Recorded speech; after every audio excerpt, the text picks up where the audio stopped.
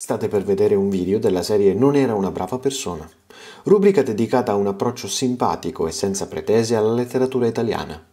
Come potete vedere, il titolo è seguito da una faccina con un sorriso al contrario.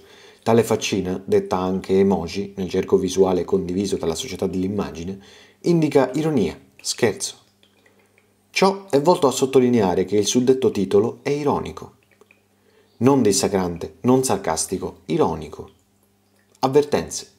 La visione del video è sconsigliata a chi prende la vita troppo sul serio e chi non è disposto a tollerare approcci poco accademici allo studio delle discipline umanistiche.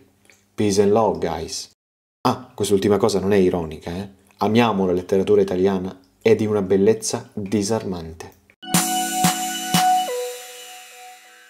La settimana scorsa abbiamo parlato di Giovanni Pascoli e adesso probabilmente pensavate che sarebbe arrivato Gabriele D'Annunzio, un po' perché nei libri di scuola questi due camminano insieme, tipo gemelli siamesi, no? Pascoli e D'Annunzio.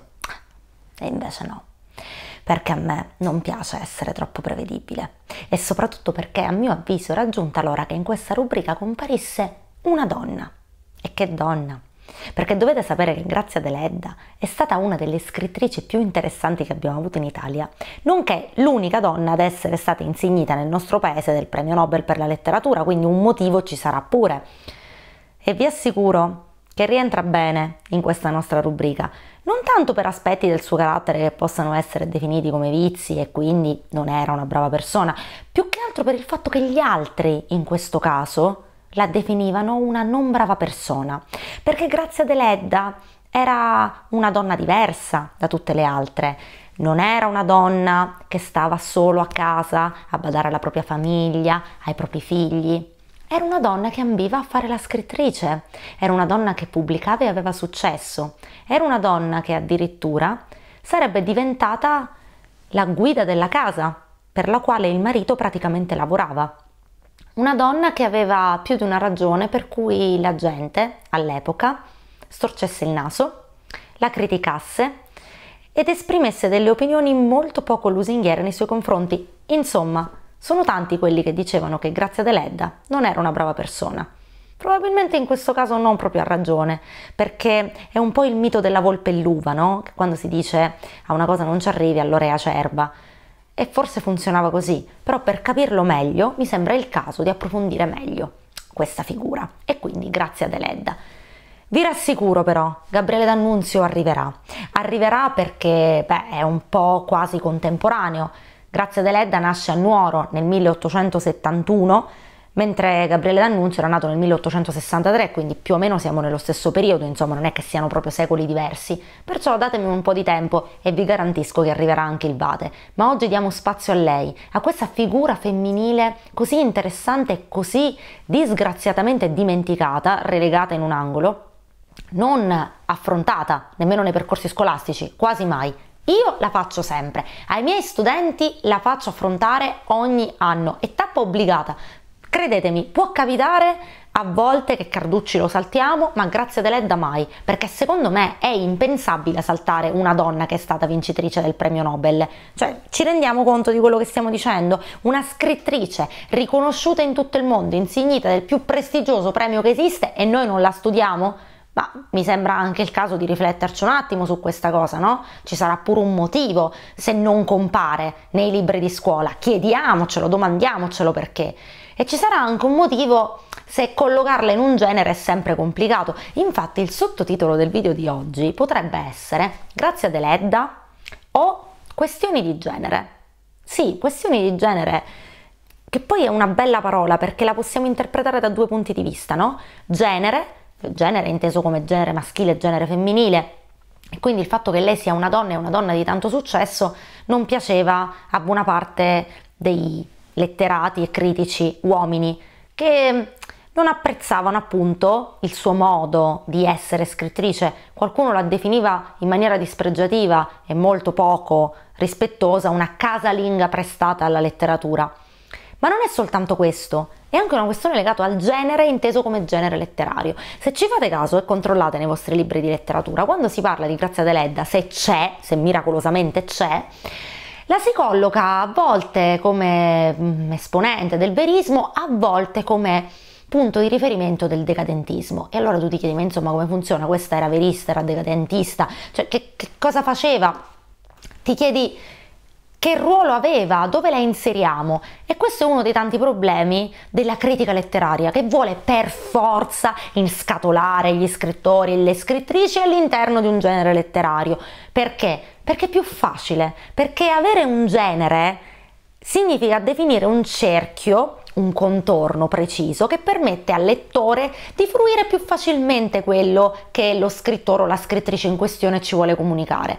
Però come ho cercato di farvi arrivare anche nei video delle settimane precedenti, un genere sì, da una parte è identificativo perché ci offre un contenitore, ma dall'altra parte è molto limitante perché reclude uno scrittore o una scrittrice all'interno di una scatola e non ne fa vedere più le sfumature, gli aspetti peculiari, quelle caratteristiche singolari che, per quanto la critica possa sventolare le bandiere sostenendolo, non possono essere esaurite del tutto da nessuna categoria di genere. Bisogna aprire un po' le vedute e dare spazio alla singolarità di quella produzione specifica che è poi la creatività del singolo scrittore o in questo caso scrittrice. Ma bando alle ciance che qui con la premessa l'abbiamo fatta lunga, se siete arrivati fino a qua e ancora non mi conoscete e volete continuare ad ascoltarmi, sappiate che io mi chiamo Martina, su questo canale si parla di libri e in particolare questa è una rubrica dedicata alla letteratura italiana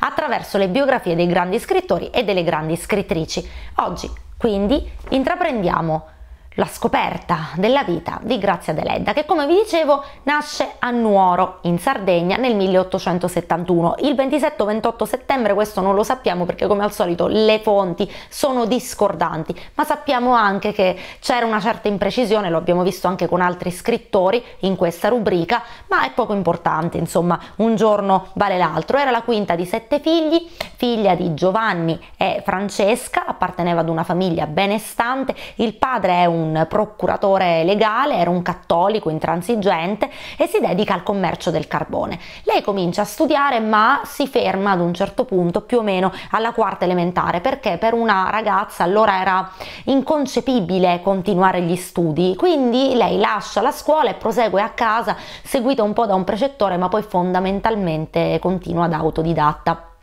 Tanto è vero che si sentiva abbastanza insicura e più volte in delle lettere, in particolare al De Gubernatis con cui intraprese una corrispondenza, diceva che lei non si sentiva brava, aveva questo problema un po' con l'autostima, no? Come capita a tante ragazze e a tanti ragazzi oggi, di sentirsi non all'altezza, non abbastanza brava, non abbastanza capace.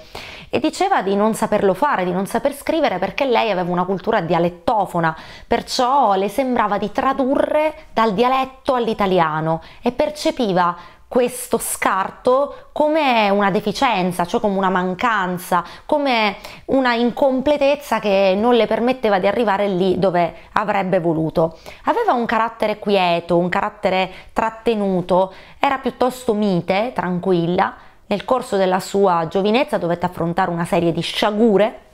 Capita spesso agli scrittori eh, di avere delle infanzie, adolescenze molto tormentate, pensate un po' a Giovanni Pascoli di cui abbiamo parlato la settimana scorsa, eh ma lei guardate che siamo più o meno lì, eh, perché il fratello Santus a un certo punto diventa un alcolizzato, il fratello Andrea viene arrestato per dei piccoli furti, il padre muore per una crisi cardiaca e poco tempo dopo muore anche la sorella Vincenza. Quando muore il padre lei ha 21 anni, la famiglia si trova a dover gestire delle difficoltà economiche non indifferenti, quindi insomma la situazione non era proprio delle più rose, eh.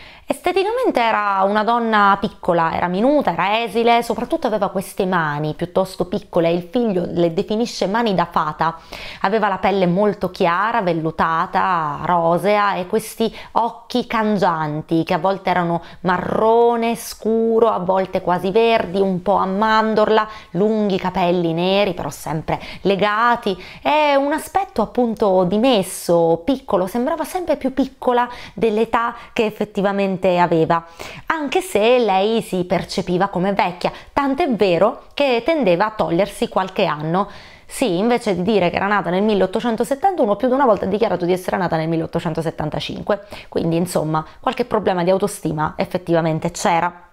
Da adolescente cominciò a scrivere e questa scrittura per lei diventa una necessità espressiva fortissima. Lei diceva di essere costretta da una forza sotterranea e questo lo scrive in un libro che si chiama Cosima, che è un po' la sua autobiografia perché è un romanzo ma racconta la sua storia, quella che è stata la sua vicenda esistenziale. Pur non avendo avuto una vita densa di avvenimenti, questi suoi primi scritti sono carichi di pathos, di amori tormentati, di vicende passionali estreme. Per certi versi a me lei fa pensare a Emily Bronti. Pensate a Emily Bronti e Cime Tempestose, cioè lei racconta questa storia di ossessione morbosa, di vendetta, di una dipendenza tormentata, Heathcliff e Catherine che sono legati l'uno all'altro da un sentimento che è terribile, proprio da vampiri e Eppure Emily Bronte non aveva vissuto nessuna di queste esperienze così passionali di cui parla nei suoi libri, ma riesce a raccontarle, riesce a renderle accessibili e credibili, pur avendo avuto una vita morigerata e molto quieta che è ben lontana da questi fumi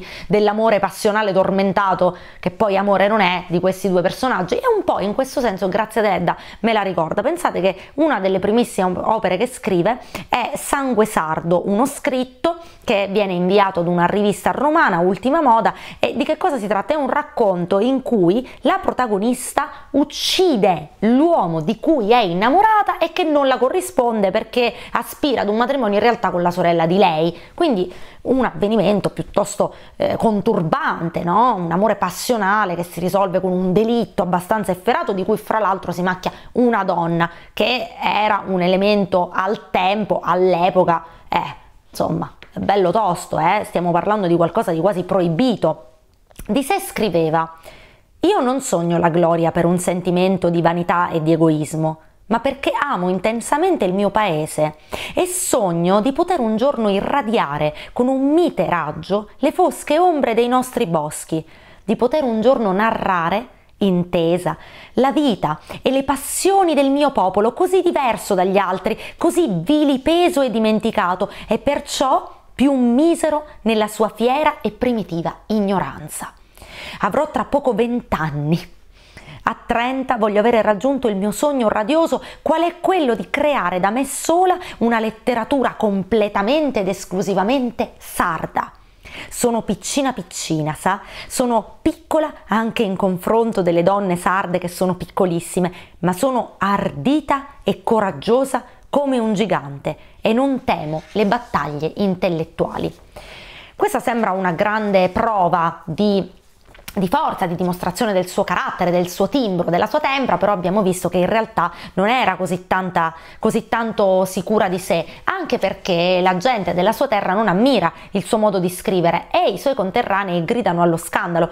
I compatrioti, scrive lei da un'altra parte, per poco non la lapidano, anzi la coprivano di maldicenze, sostenendo che i libri che pubblicava in realtà non li avesse scritti lei, cioè dicevano che lei praticamente faceva ghostwriter, insomma ci metteva la firma, ma poi il libro lo scriveva qualcun altro, perché ritenevano che una donna non fosse in grado di riuscire a scrivere delle cose talmente profonde, talmente fierine, talmente davvero viscerali perché lei affondava le mani nella tradizione anche folcloristica della sua terra rielaborando dei temi estremamente interessanti come a dirla tutta nessuno aveva mai fatto. E le male lingue aumentarono, aumentarono in maniera esponenziale nel momento in cui continua la parabola esistenziale di Grazia Deledda che ad un certo punto incontra un uomo. Lei aveva avuto una serie di, di, di relazioni, insomma di contatti con alcuni, aveva avuto anche prima, eh, un primo approccio, una prima relazione che finisce quasi subito perché poi non se ne fa niente, il, il, compagno, poi insomma il presunto compagno preferisce un'altra,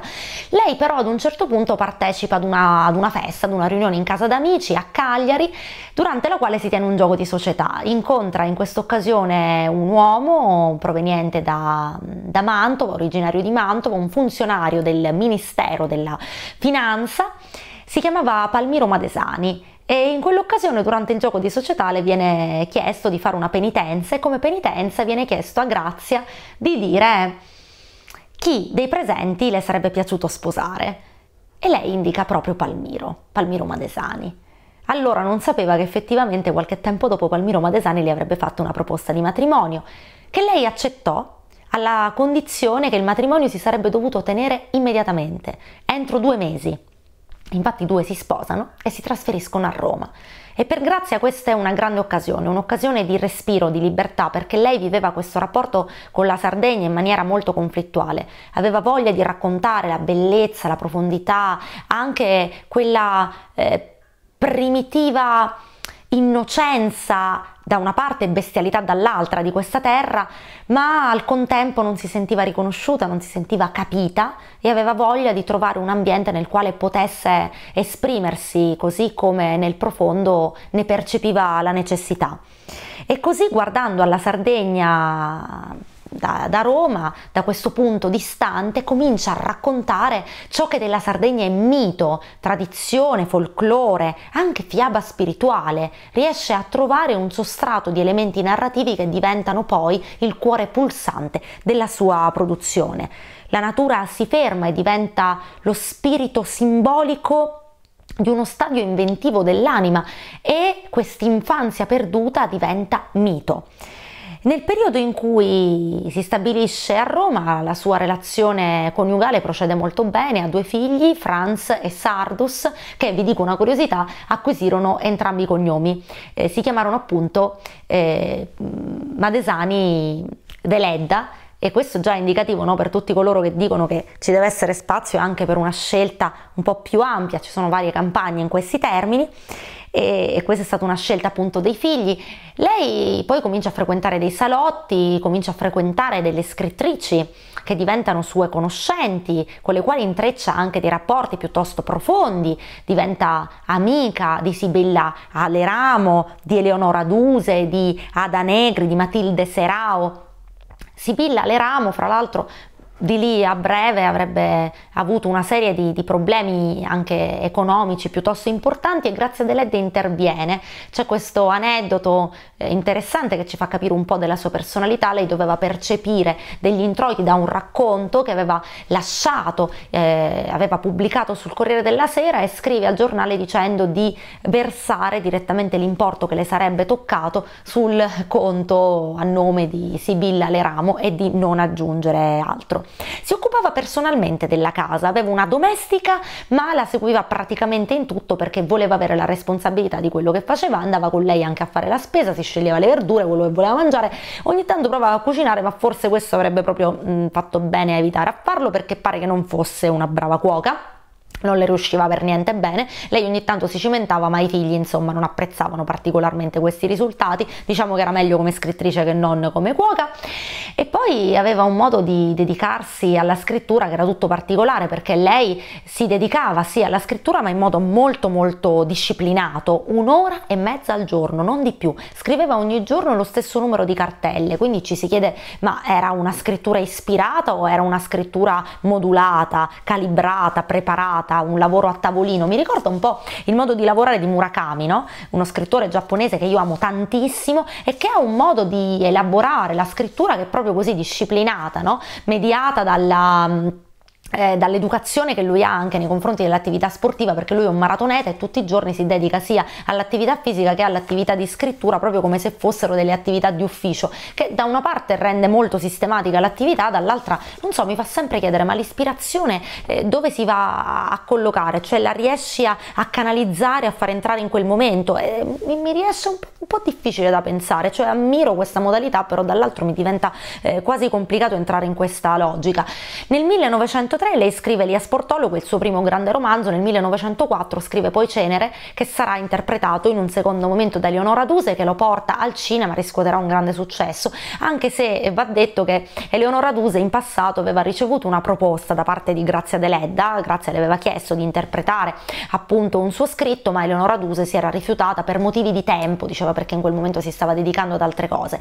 Sono gli anni in cui scrive i suoi romanzi, ne scrive tantissimi, eh, Grazia Deledda, stiamo parlando di una cinquantina di pubblicazioni, scrive L'Edera che diventerà un altro grande romanzo, scrive Canne al vento che per molti è il suo capolavoro, scrive La madre. Il suo successo è talmente plateale che Palmiro lascia il lavoro Ed ecco che qui è proprio il trionfo delle male lingue, perché Palmiro, che aveva un bel posto fisso, piazzato, bello sistemato al Ministero delle Finanze, decide di seguire la moglie, addirittura avendo un ottimo fiuto per gli affari, evidentemente ereditato da questo periodo al alle Finanze, le organizza tutti gli incontri, prende i contatti con gli editori, organizza la promozione dei libri, diventa a tutti gli effetti il suo agente editoriale o per dirla in termini contemporanei, un po' esterofili, il suo manager un po' inventa questa figura professionale che sì c'era ma non era proprio istituzionalizzata. Lui è il manager di Grazia, lui è il manager della moglie e grazie al sodalizio così forte di questa coppia che è stata davvero una coppia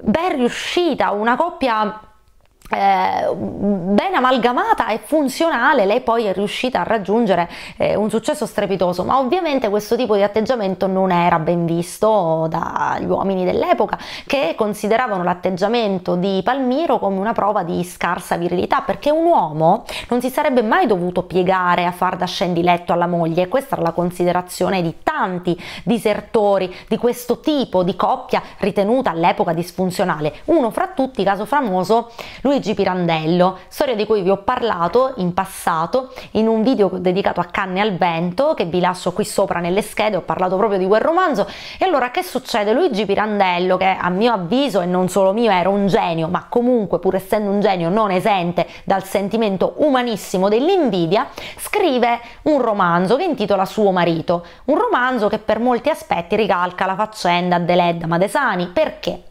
Racconta la storia di Giustino Boggiolo, un eh, modesto impiegato che lascia il proprio lavoro per dedicarsi alla carriera della moglie, che è una scrittrice. Tant'è vero che questo romanzo poi lui lo aveva rimaneggiato, a un certo punto aveva proposto come titolo alternativo Giustino Roccella nato Boggiolo, facendo gioco su questo cognome, perché Roccella era il cognome della moglie, ovviamente, Giustino Boggiolo, che in realtà diventa Giustino Giustino Roccella, cioè lui che acquisisce il cognome della moglie perché quella che porta i pantaloni in casa è lei ed è un motivo di, mh, mm, di rimprovero no? eh, per questo tipo di fam- ambiente familiare, non è sicuramente un motivo di plauso che l'uomo si abbassi a far da dipendente della moglie. Questo romanzo fu rifiutato dall'editore Treves che aveva in catalogo anche i libri della Deledda perché i riferimenti alla vicenda familiare della scrittrice erano fin troppo palesi. Poi Pirandello lo pubblica con un altro editore, però in ogni caso rimane il fatto che evidentemente lui ne ha voluto fare un motivo di, di critica e di commento, io credo che sia stata più felice il suo esito su altre pubblicazioni. Ecco, diciamo così. Come vi dicevo, i giornali parlavano di lei come casalinga prestata alla letteratura, viene accusata di essere espressionista, paternalista, poco originale, stantia, noiosa, antiquata da connazionali, risveglia invece l'attenzione all'estero, infatti le sue opere vengono immediatamente pubblicate in Francia e tra le sue estimatrici c'era anche la regina Margherita che leggeva tutti i suoi libri, perché, beh, lo sappiamo, molto spesso Nemo profeta in patria, nel suo caso bisognerà aspettare perché venisse riconosciuta in Italia.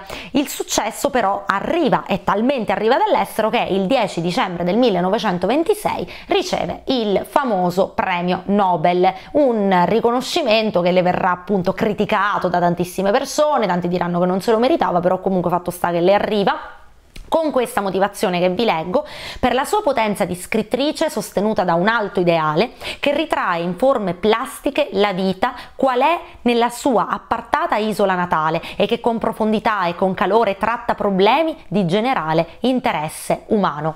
Pensate che quando arrivò il telegramma che comunicava che l'Adelaide aveva vinto il premio Nobel, ci fu anche chi disse che era accaduto perché lei era ammanicata con il fascismo, cosa assolutamente smentita. Che cosa era accaduto in realtà? Che nel momento in cui arriva questo premio Mussolini la convoca, la chiama per farle i complimenti e per chiedere che cosa il regime può fare per lei e lei in cambio chiede la liberazione di un amico, di un amico antifascista che era stato mandato al confino e per questa ragione venne appunto accusata, venne detto che il premio le era stato conferito proprio perché in qualche modo c'era stato eh, il, lo zampino di Mussolini. Quando poi viene chiamata a pronunciare il discorso per il premio Nobel, in realtà lei cita il, eh, il regno, cita il re, ma al duce non fa alcun riferimento, quindi è evidente che non ha intenzione di mostrare nessun eh, tipo di omaggio nei confronti del regime. Lo scrittore Mario Ciusa Romagna ci dice che i nuoresi non l'amavano affatto perché non tendeva ad altro che a rivelare un mondo arcaico, un mondo lontano, un mondo vecchio.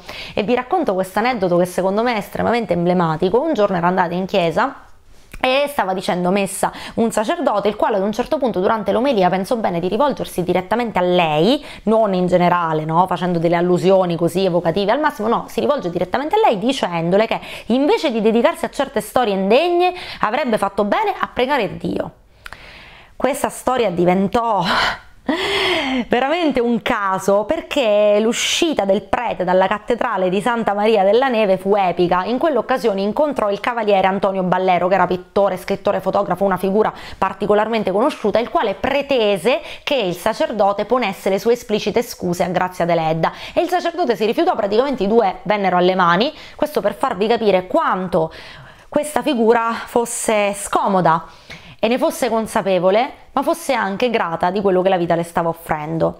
Quando andò a ritirare il premio Nobel, pronuncia questo discorso che vi voglio leggere perché secondo me è bellissimo. Sono nata in Sardegna. La mia famiglia, composta di gente savia, ma anche di violenti e di artisti primitivi, aveva autorità e aveva anche biblioteca. Ma quando cominciai a scrivere a 13 anni, fui contrariata dai miei. Il filosofo ammonisce se tuo figlio scrive versi, correggilo e mandalo per la strada dei monti. Se lo trovi nella poesia la seconda volta, puniscilo ancora.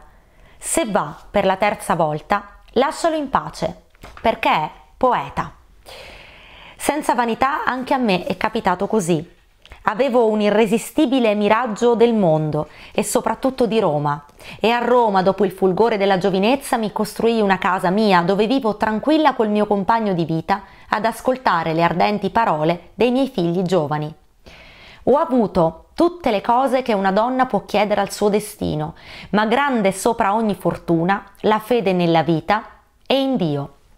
Ho vissuto coi venti, coi boschi, con le montagne, ho guardato per giorni, mesi ed anni il lento svolgersi delle nuvole sul cielo sardo.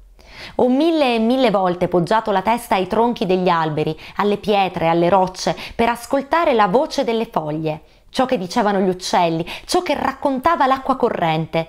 Ho visto l'alba e il tramonto, il sorgere della luna nell'immensa solitudine delle montagne, ho ascoltato i canti, le musiche tradizionali e le fiabe e i discorsi del popolo.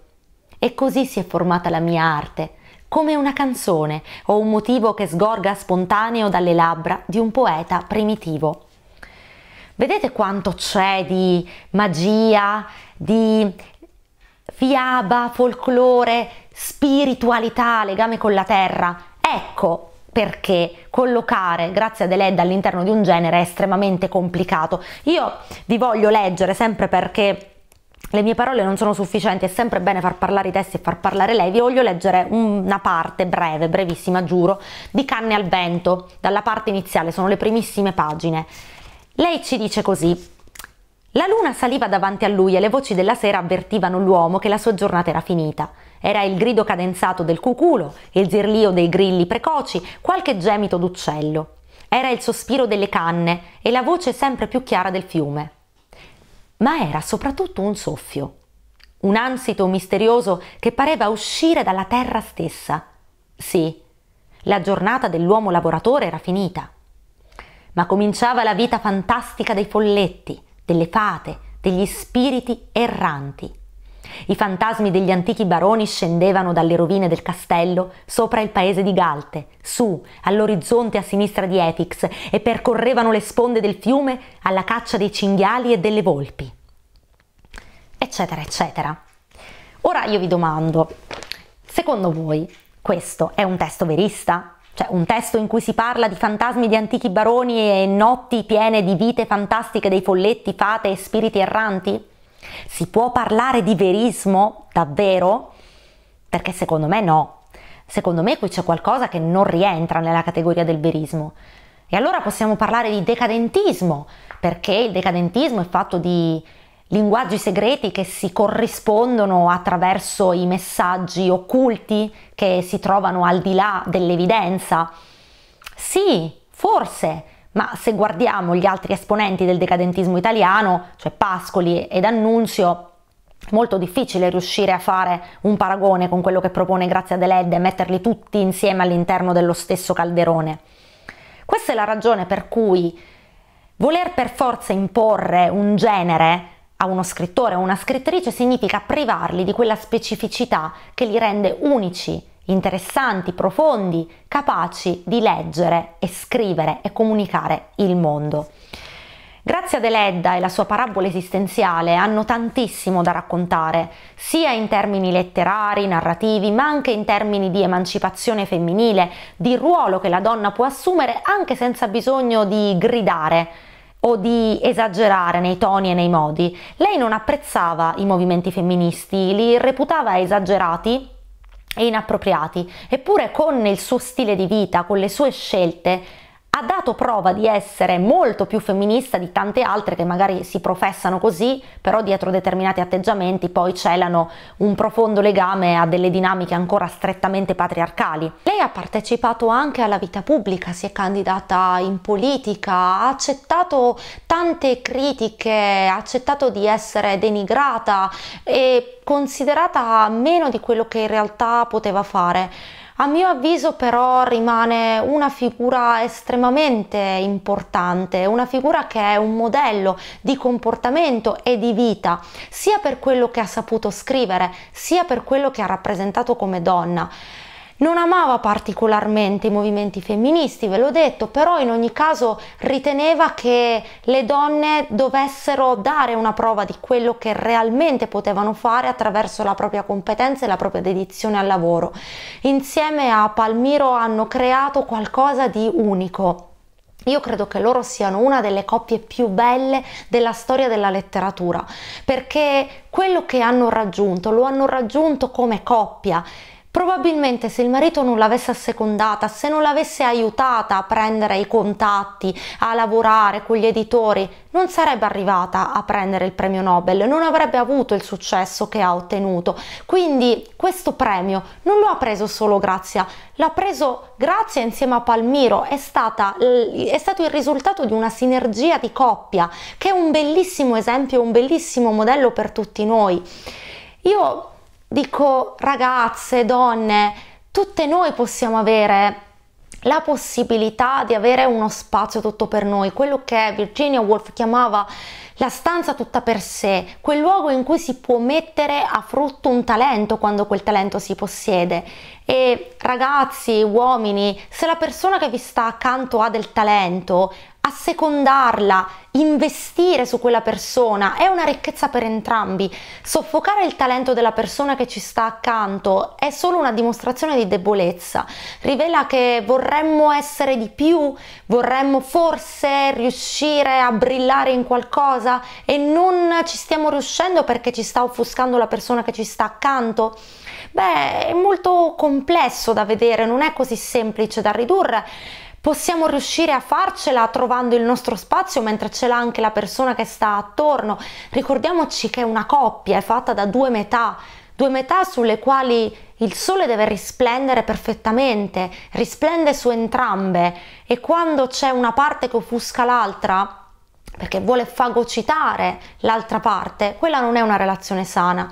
Una coppia funziona e funziona in maniera ottimale, in maniera propositiva, quando questo sole può esistere su entrambe le parti, quando si viene a creare un equilibrio. Io credo che la coppia Deledda Madesani sia un esempio perfetto di come si possa lavorare bene insieme ottenendo dei grandi risultati. Magari c'è uno sul palco, ma l'altro dietro le quinte e se dietro le quinte non c'è qualcuno che si occupa di far funzionare bene tutti gli archetti e l'aspetto fonico e l'illuminotecnica, l'esibizione non andrà bene sul palcoscenico. Quindi non basta che ci sia una persona sul palco, ci vuole anche qualcuno dietro le quinte che faccia il lavoro importante, si lavora insieme in questo senso e credo davvero che loro siano un modello da questo punto di vista. E voglio lasciare questo messaggio a voi, questo messaggio a noi tutti e ringraziare ancora una volta, grazie ad Eledda,